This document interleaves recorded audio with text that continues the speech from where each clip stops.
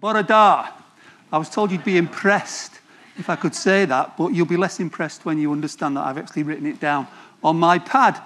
Um, welcome. Thank you to uh, Joe and Chris for having me back. So I must have done something right the first time around. Um, so the way, the, form, the way this uh, session will run is I'll talk for about 45 minutes, then I'll hand over to you for some table talk because my talk is a talk with a task. And I'll give you the task that I'd like you to focus on uh, partway into the presentation. So there is kind of a, a, purpose in this. And hopefully by the end of the talk, we'll, we'll leave with some, uh, some ideas that we've created in, in this space. Um, we'll feed back from each of the tables at the end and collate things together. Uh, nothing else to say, really, apart from uh, I'm going to stand on the stage for the first 30 seconds, and then I'm going to invade your space and come down into you, because uh, the first thing I'd like to open up the discussion with is this, uh, this concept of leadership that talks about hubristic leadership, but I guess we need to uh, have a clear idea about what we mean by leadership. So, uh, one of the tactics I've learned to use in giving these talks is to prod and poke the audience with questions. So, uh, with my students, I call them stay awake questions. It's too early in the day for, for it to be stay awake, so it's kind of to get you engaged. So, in terms of leadership, uh, just quick fire. We don't need roving microphones or anything like that. If you've got a response, please feel free to uh, project it forward. Oh, by the way, should have said this. Um, any PowerPoints that you've got in advance, please ignore because I did some last minute changes, which are kind of 90% of the PowerPoint. So ignore anything that you've been given. Also, which I'm slightly worried about, if you look at the PowerPoint, you'll know the answers to the questions. So ignore them if you have them. I don't know if you have. Right, leadership. So, um, kind of word association or quick fire. What word springs to mind when you see the word leadership? Followers, thank you. I didn't plant that question, but it was a superb, quick response, whoever did it. Followers, so followers are involved in the leadership process. What else? Other adjectives that kind of uh, spring to mind. Call out, bail me out, help me out. Vision, followers, vision, direction, values, strategy, decision making. Yep. Inspirational. Right, we'll stop. We've got five. My hand was going higher and higher every time, wasn't it? So when you do this exercise with managers, exec students, you get words like that. Uh, responsible, vision, strategy, inspiration, motivation. You name it, uh, whatever positive word you want to uh, come up with springs to mind. Um, now, what you don't get is the dark side. And you never get words when you do that exercise with a group like those, like offensive, tyrannical, intimidating, narcissistic, hubristic, and so on and so forth. So, the reason for the, uh, the dark side of the moon there is leadership is a bit like the moon. It's got a dark side. And we, try, we tend to overlook the dark side rightly so to some extent, in favour of viewing its positive attributes. But the way that I'm positioning this concept of hubristic leadership is as a type of destru- destructive leadership.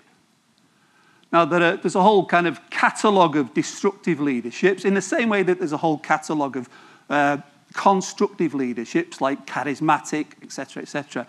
Uh, social undermining, so destructive leadership, social undermining, abusive supervision, etc., etc. And hubris is, I think it's one of those. Uh, and the title of the talk was to do with hazard, hubristic leadership as a hazard for organizations, and also about managing the risks of that hazard. So it's really all about trying to, this talk is about trying to find out what hubristic leadership is, what causes it? What are its consequences? But most importantly, I guess, in going forward, is what we can do to avoid it from happening. Um, so, that's by way of introduction. Um, by way of the task. So here's your heads up on the task. So, kind of in terms of your motivation and direction and engagement with this talk, it's a, it's a talk with a task. All right? And the talk is me, but you'll be doing table talk later for 15 minutes with your facilitators, and then you'll be feeding back to the big group. And that's the task. What skills do managers in your organisation need to combat the hubris hazard? Now, I'll say a little bit more about the task as we get closer to it, but that's your heads up. That's your kind of advance organiser for where the talk is headed. Okay, it'll come back later, so don't worry if you didn't manage to scribble it down. Right, uh, or oh, another piece of context which might be useful for you is that um, at the winter school I did a talk on the same subject, different format, different content, uh, uh, to senior leaders, execs, and board members, and so on and so forth. So uh, the group near the top of that pyramid know all about hubris and the hazard and the risks. Uh, uh, and now it's kind of, I suppose it's a bit of a cascade now at the summer school to the level down below those sen- that very senior level. And in a way, I think you're in an interesting position because you're, you're almost in that uh, overlap between the very senior levels and the levels lower down the organisation. And I think managers at your level have a particularly important and crucial, vital, whatever other word you want to throw in, role to play in containing and combating hubris at the top. That's not to say, of course, we ourselves, me included, aren't prone to hubris. All right, so that's by way of context. So, what is it? Uh, I now know what it is in Welsh, thank you very much. Uh, I won't attempt to pronounce it in Welsh. So, what is it? It's a word we kind of bandy around. It's been in the papers a lot recently with uh, political issues and so on and so forth. But what is it? Uh, the best way to understand it is with Greek mythology. And this is the famous uh, myth of uh, Daedalus, who was the master craftsman on the left there and Icarus, his son, and they were imprisoned on a Greek island by King Minos, and they uh, wanted to escape. So the master craftsman Daedalus fashioned wings out of wax and feathers, which gave them the power, underline that phrase, of flight, which was a godlike power uh, and not something that mortals should have. These are all clues about what hubris is really about. Uh, and poor old Icarus got too confident, too overambitious, too reckless in his behavior, flew too close to the sun, and crashed to earth and died. His father Daedalus ex- uh, encouraged him strongly not to fly too high, and we know that bit of the story, but if you read it in detail, he also said, Don't fly too low. And you've got a book out there on the stand called Managing Risk. And I think it's, he didn't manage the risk properly. Anyway, so that's hubris. If you've understood that story, and you did before you came in here, then you understand what hubris is. Uh, it's intoxication with power. So his, his, his intoxication, Icarus' intoxication, was with the power of flight. Um, was with the power of flight. So he, he became too confident, too hubristic um, for his own good.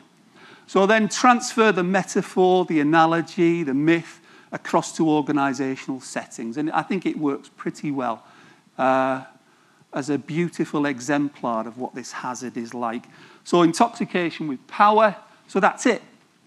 Hubristic leaders, hubrists, we can call them, are intoxicated by power and success. So, Icarus was intoxicated by his success as well as his power he soared higher and higher until he went too close to the sun and he was prone to recklessness. All right. So it's intoxication with power. Right. Um, I'm going to use political examples. And the reason, one of the reasons I'm going to use political examples to some extent in the talk is because they provide us with a wonderful caricature, an exaggeration of what hubristic leadership is like. So I'll use a couple of those in particular, the one on the left and the one on the right, to illustrate it. So think of them as caricatures to help us to get our head around what hubris is. So this isn't about politics. We're using them as caricatures, exaggerations in the way that those images are exaggerations of each of the respective leaders. So, um, if we take the third one, the 45th President of the United States. Now, again, I'm going to uh, ask you to uh, throw in some words that uh, polite adjectives uh, that would describe the 45th president's uh, leadership style. Over to you. What, sir? Say again. Vain. Vain. Good. Thank you. Vain. Controversial. Cavalier. Cavalier. Spoilt. Arrogant. Childlike. Disruptor, which not, is not a bad thing necessarily, is it? You know, maybe we need these mavericks who disrupt things now and again. Any more polite object- adjectives? Impulsive, self serving. We could go on. Popular. Now, his popular, popular. Fantastic response. His popularity rating is as high now as it has ever been. Discuss. Well, we won't, but you know. Uh, but it's a great point, isn't it? It is a fantastic point. So here are some that I prepared earlier overconfident, overambitious, contemptuous, arrogant, uh, displaying hubristic pride. Pride is a good thing, isn't it? Authentic pride is a good thing, but hubristic pride is not a good thing. Uh, hubristic pride is pride in oneself, it's kind of overweening pride. It's a little bit like narcissistic pride, and it's all about you, not you, the person who suffers from it, um, and their achievements and them, etc., etc. And it's about recklessness as well. So reckless behaviour. Uh, so those are those. If you want my definition of hubris, those would be my uh, key adjectives to describe it.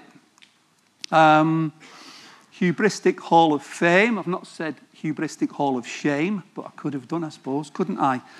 And the first two, they're from finance, they're from banking and finance. And we think, well, okay, well, this is uh, government, public sector. What's that got to do with us? I'll tell you, I'll show you what it's got to do with you in a minute. Um, so that's Richard Fuld, who was chairman and chief executive of Lehman Brothers, who went down in the financial crisis 2007 2008. And uh, that was a very, um, what's the word? Propitious article in the FT in 2008, which talked about his hubris. And that was in the height, the maelstrom of the financial crisis. Well, as it was beginning, really.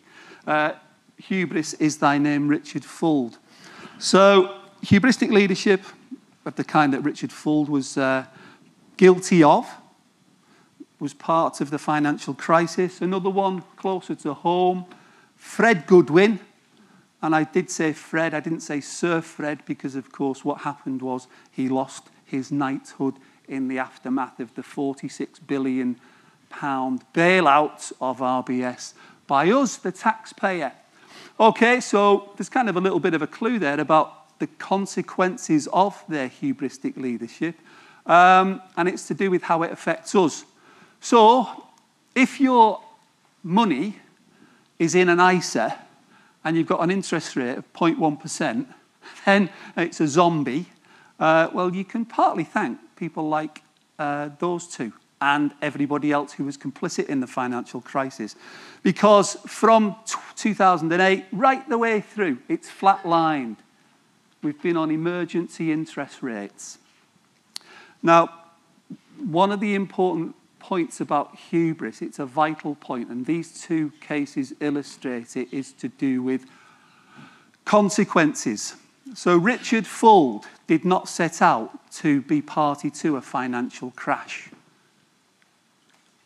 Fred Goodwin did not set out to be bailed out by the UK taxpayer to the tune of 46 billion and wreck the bank.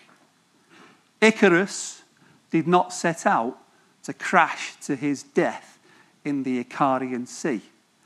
Nonetheless, their behaviors, their reckless behaviors, brought about negative, unintended consequences.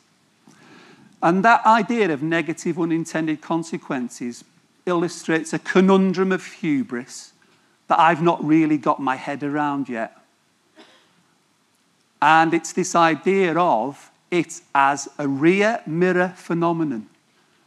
You, you know it when you look in the rear mirror and see the consequences.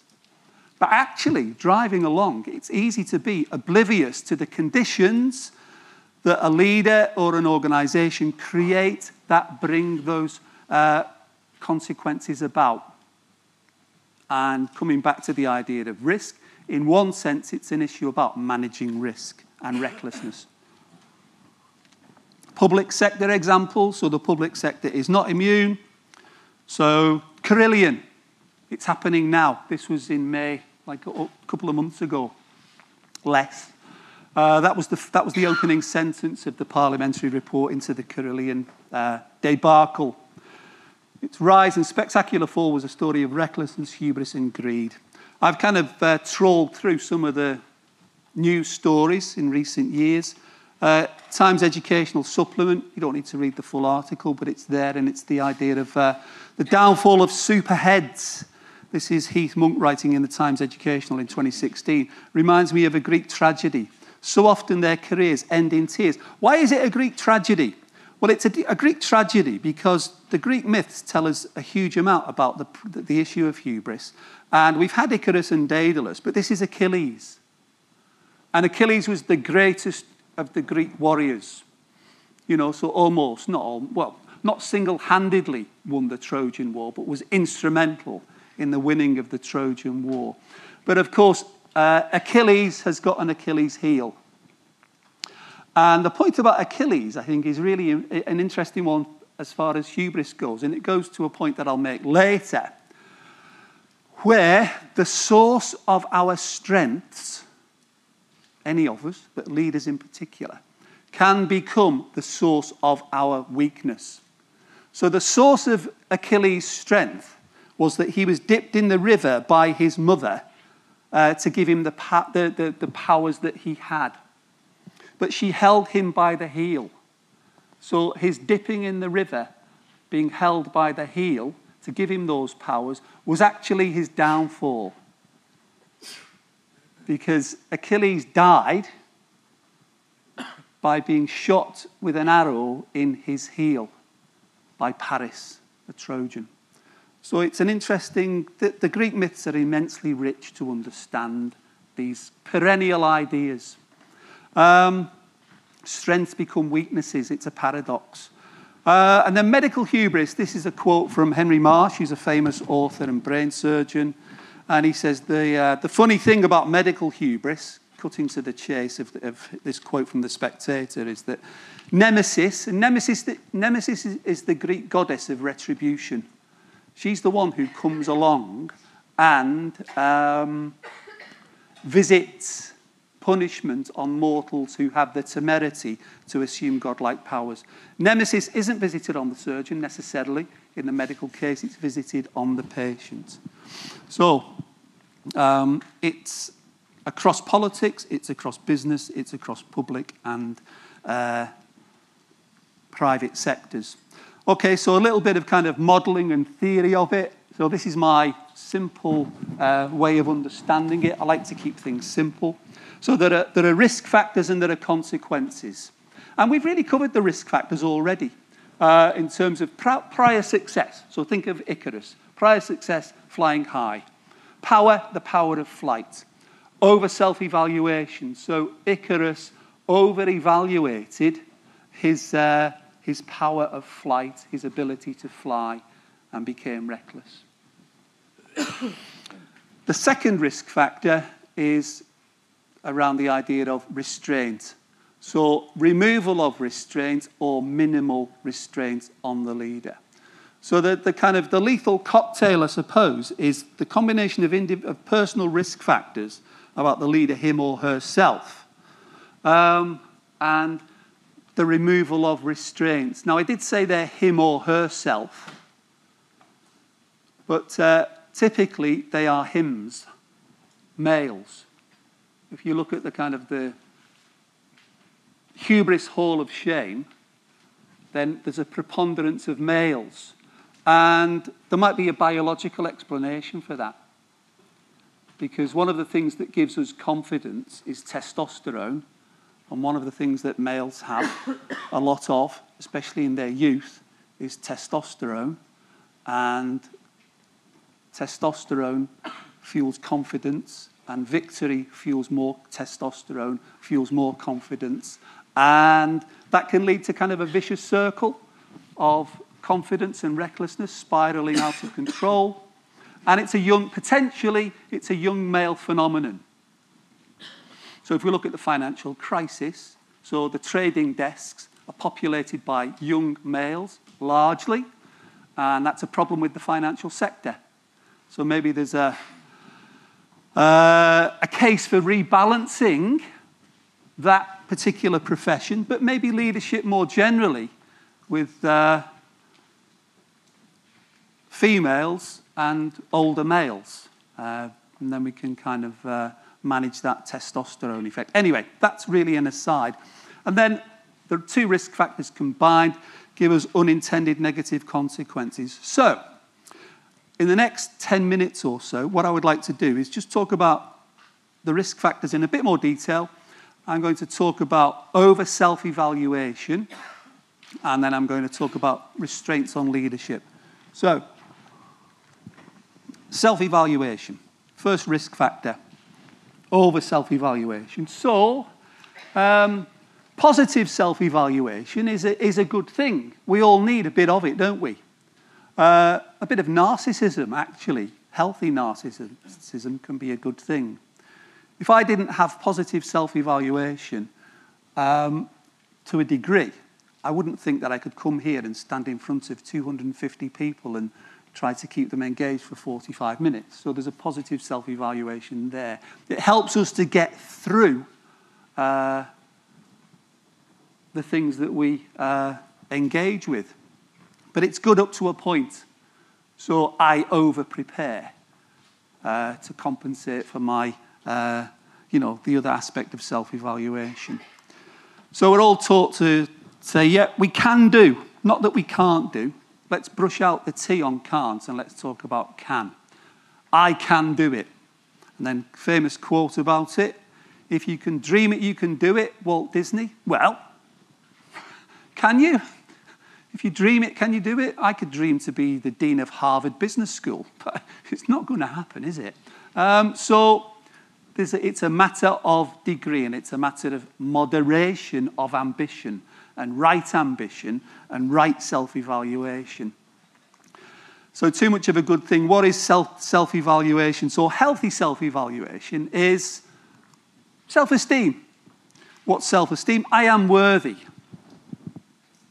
Uh, we're kind of challenged in life, aren't we, if we don't have a degree of self esteem. However, you can take it to an extreme and say, I am the most worthy. Second one is self efficacy. Uh, I can succeed at tasks. And we take that to an extreme, we overblow it, and it becomes I succeed at every task. Locus of control. Events in my world are within my control to an extent. And then you know where this goes. Everything is within my control.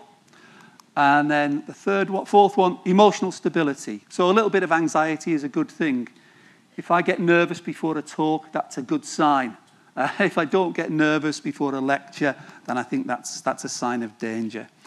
Um, I am an anxiety free zone, is the extreme. So if we take healthy self evaluation and blow it into hyper self evaluation, Stay awake question number five coming up. Who could be on the next slide? Not a young man. Very good. Yeah, yeah. No, it's not. Clue, it's not a young man. Who's on the next slide, you think? Look at that. I am the most worthy. I succeed at everything I do. Everything, the world, Middle East politics, career is within my control. And I'm anxiety free because I'm so good. All right. And there we have it, in a sense. That's the, that's the absolute extreme example of hyper self evaluation, or hyper, it's called core self evaluation in the psychology literature. And this is the famous stable genius quote from President Trump. Um, just a caveat, a health warning about the example of Trump. Yeah, he's a great example of a hubris, but he's a very complex, uh, complex individual. And, um, you know, he's not just a hubris, there's an element of, well, any other ist you want to throw in. All right, so let's use him as a caricature, but it's, he's, you know, he's, not, he's not the best example in some ways. Right, so that's self evaluation, hyper self evaluation. And again, I draw you back to the idea of Icarus, who had, in a sense, over self evaluation. And it's in the Bible pride goeth before destruction, and a haughty spirit before a fall. Book of Proverbs uh, 18, verse 16. And that's it. That's my idea of this um, unintended negative consequences. The key word in all of that, everybody, is invites. Because what I am not saying is that uh, inflated self evaluations and confidence and ambition will result in hubris. All I am saying is that it, invite, it creates the conditions which invite unintended negative consequences. It may result in negative consequences, it may not, but it creates the conditions. This is why hubris is a conundrum. It is a real conundrum for us. But it's a conundrum that human beings have grappled with for two and a half millennia, and we're still grappling with it today. Uh, anyway, right, so uh, the, or the winner effect, starred there, is this thing around testosterone. So it's a biological phenomenon and it's a young male thing, and it's this the way in which uh, testosterone fuels confidence, fuels victory, but eventually that uh, virtuous cycle becomes broken, and uh, winning doesn't continue. Anyway, there's a literature on the winner effect. Uh, the way that I put it together is I call it a paradox. Pa- so hubris is a paradox. And a paradox is where you have two opposing things kind of together that normally there's a kind of, they push each other away, but somehow they are brought together in the same space. So with hubris, the paradox is this uh, bringing together of excessive confidence and deficiency of confidence, or excessive ambition and deficiency of ambition. And those, they're, they're, polar opposites, but somehow they come together in the space of hubris.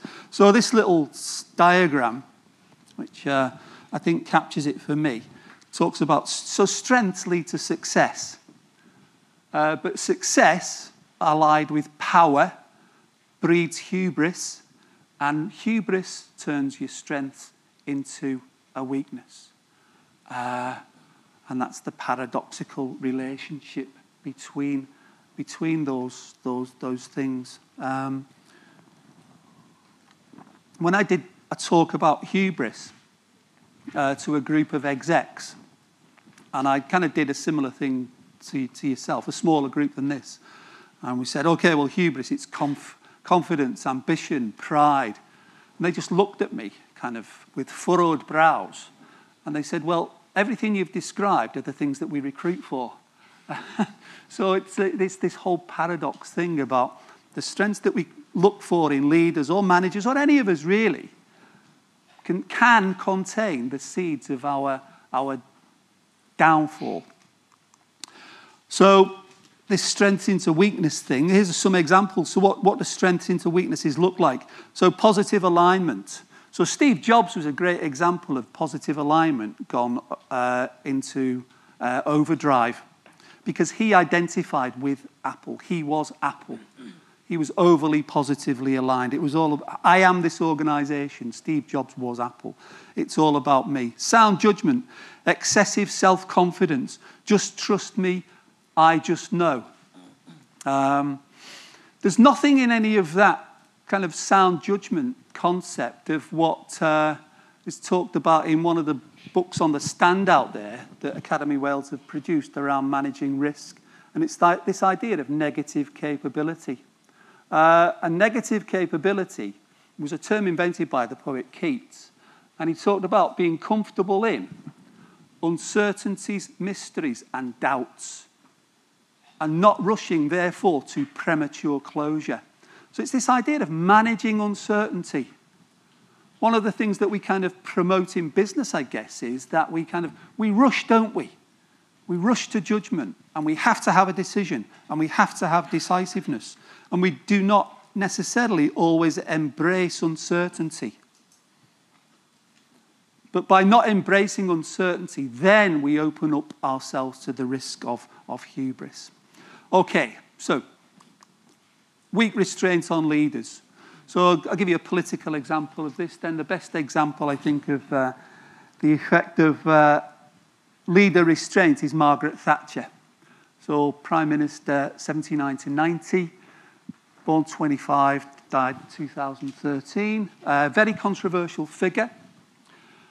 And she's a good illustration of what can happen to a leader who was effective, and I know it's a politically loaded term, but was effective in particular ways once a restraint has been removed. So, uh, victory, so 1982, the Falklands War victory by Thatcher. 1984, the defeat, and I put it in inverted commas, of the miners in the miners' strike. So, huge successes in fact, the early days of Thatcher's premiership.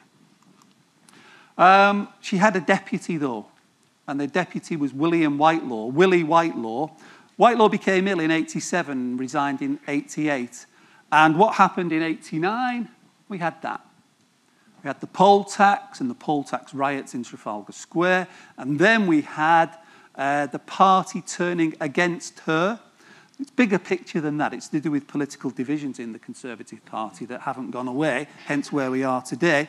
But nonetheless, and um, one of the famous things that she said about um, her relationship with William Whitelaw was, and I'm not going to say exactly as, as she said it, but you know what it is.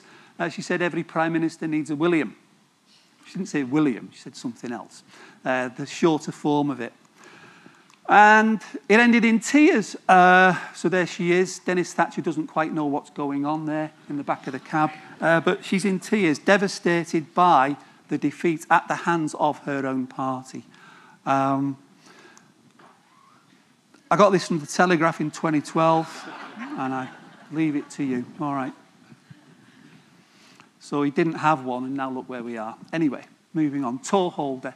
So, the con- so with the previous slide about confidence. I gave you the, the concept of the paradox and hyper self evaluation. Um, with this one, um, the idea is the idea of a toe holder. So, Willie Whitelaw was Thatcher's toe holder. He helped to keep her hubris in um, check. But once he moved out of the, uh, the frame, her hubris became uh, uncontrollable some people even thought that she had mental health issues at the time because her behaviour became so extreme, uh, like the no, no, no thing with Jacques Delors on, the, on, on Europe, etc.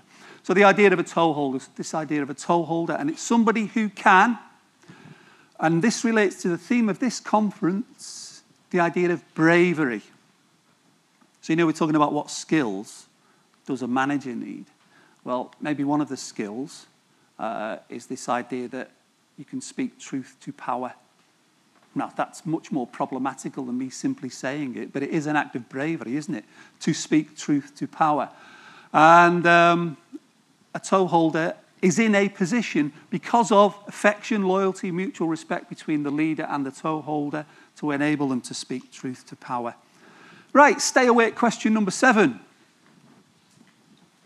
What have all of these individuals got in common? They no longer work in the White House. They've been through the revolving door of Trump's White House. So we've got Sean Spicer, the direct, James Comey, director of the CIA, Steve Bannon, etc. And none of them were able to hold the toe of the 45th president. Uh, he doesn't have a toe holder to help keep him in uh, check. One of the ideas that's uh, vital in the, in the, idea of hubristic leadership, and it's, it's the very first word that you uttered to me uh, as an audience response, and it was followers. So I said, you know, what, what's leadership about? He said, followers, but you said it in a kind of a, an upbeat way. Followers have a vital role to play in hubristic leadership. And it's followers in a negative sense, and it's followers in the sense of their being complicit. So that I think there are two types of complicit followers. Uh, there are people who are conformers, and there are people who are colluders. This is not just politics, this is in everyday organizational life. And what do conformers do? Well, they can be two types of conformers lost souls, people who are just seeking direction, so they, they conform. Bystanders, we kind of we don't show any bravery. We passively stand by and let it all unfold before us. And then there are the colluders, so acolytes, people who actually share the same vision as the leader. And then there are opportunities who may not share the same vision, but uh, use it uh, as an opportunity to further their own ends. So that's a little typology or framework for, for follower types. Okay, I'm going to move on fairly quickly now to um, the task. Final idea then. So I gave you the idea of the paradox, this cycle of strengths into weaknesses the, fi- the, the, second big idea, I suppose, or the big framework, uh, or not big frame, just the framework to kind of get your head around this. Strengths into weaknesses, paradox. And then this, this second one is this idea of the toxic triangle of hubristic leadership. And I think we are deluding ourselves if we think that the hazard of hubris can be solved simply by managing the leader. So if we get rid of the hubristic leader, then the problem is solved. I think it's, I think it's much more complex than that. And I think the complexity comes about because uh, leadership, by definition, is relational. It's about the relationship between leaders and followers, and it's also situational. It's about the context in which the leadership is enacted. So, hubristic leadership does lead to destructive outcomes, but there is a role for followers, the complicit followers, and there's a role for context. And then when we put those three things together, only by considering those three aspects of this toxic triangle can we understand the destructive outcome an example. I'm not going to go into it in any great depth. In fact, I'm not going to go into it in any depth at all. I'm simply going to fire it up onto the screen like that. Kids Company. The collapse of Kids Company, hugely controversial um, with regards to the way that government dealt with it, hugely controversial with regards to the leadership of that organisation. So the context was child poverty and the alleviation of child poverty and maximising the opportunities for children in poverty in cities like London, Bristol, Liverpool. So there's a context there conducive to it. The company collapsed. Arguably, there were hubristic leaders at the helm in uh, Camilla Batmanghelidj and Alan Yentob, but then there were the, uh, the complicit followers everybody from the Prime Minister uh, through to the pop group Coldplay, who gave them 8 million. Um, so all I am saying is that in terms of uh, managing the hazard of hubristic leadership, it is not simply uh, a case of looking at the leader, there is the whole context to look into. Okay, there's the reports from the House of Commons uh, Public Administration and Constitutional Affairs Committee. Enough of that. Right, so what to do about it? I suppose what we're trying to do is devise, if we can, something that we might call an anti hubris toolkit. And the tools that are in the toolkit are the skills that managers like yourself need in order to counter this thing that we've uh, been talking about called hubris. So, uh, these are some of the things that, that I kind of uh, uh came up with emotional intelligence, self awareness, know thyself. So, again, that's the Greeks. Know thyself, the oracle at Delphi, moderation in all things, know thyself. Conversation skills, gritty listening. I love that phrase, and it's, uh, it came from the winter school. And I love it. And I, I, I wish I could remember the person who came up with it. But she said this idea of faint, listening for faint, listening for faint signals, gritty listening really, you know, being attuned to what's being said. Uh, asking questions, using social media to pick up signals, you know what people say. So, social media, again, the example of Trump and Facebook. But anyway, exercising, taking responsibility, speaking truth to power. Uh, so, just to tell you what we've talked about, um, it's a foot. So, to standing back now, so big picture, uh, stand back on the stage. So, hubristic leadership, what is it? It's a new topic in leadership studies. As I have said, we've got charismatic leadership, transactional, transformational, adaptive, whatever you want, you name it, we've got it. Um, hubristic leadership is a new area of leadership studies. It's an area that is evolving as we speak, and you are part of its evolution uh, because you're engaging with, you know, academics like myself and helping me to make sense of it, which I'm immensely grateful for. Uh, it's caused by power success over self evaluation, etc. Please bear in mind that I've given you kind of the tip of the iceberg. There are other factors at work, characterized by those things uh, overconfidence, over ambition, arrogance, contempt, recklessness, unintended negative consequences. So it creates, it does not lead to negative consequences necessarily, but it creates the conditions for unintended negative consequences. Hubristic leaders invariably do not set out to be destructive. There are examples of that that we were discussing over there where a leader can be deliberately destructive, but it's, it's the exception, I think, rather than the rule. Fred Goodwin didn't set out to, you know, make RBS bomb.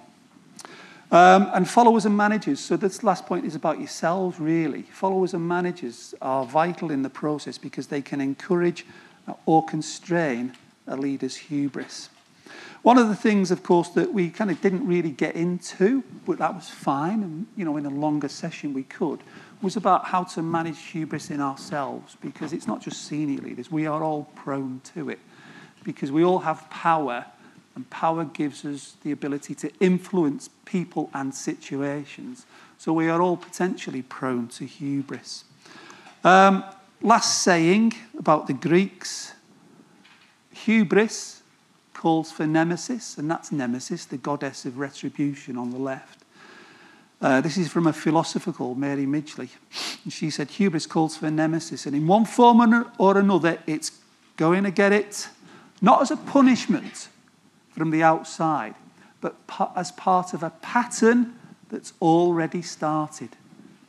So, hubris, think, we can think of it in terms of the conditions are created, it's a pattern that unfolds over time. An interesting challenge that we have is that pattern perhaps can take on a life of its own. And, you know, is it stoppable once it starts? And I won't mention Trump at this point, but I just did.